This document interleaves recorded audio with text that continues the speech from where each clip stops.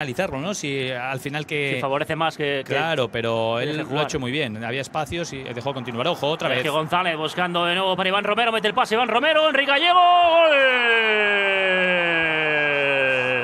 Marca de nuevo Enrique Gallego el 2-0, 4 minutos y dos goles para el Club Deportivo Tenerife. Apareció otra vez Enrique Gallego para marcar. Marca su séptimo gol de la temporada. Ese centro desde la izquierda. Los dos delanteros del Club Deportivo Tenerife han hecho mucho daño en esta jugada.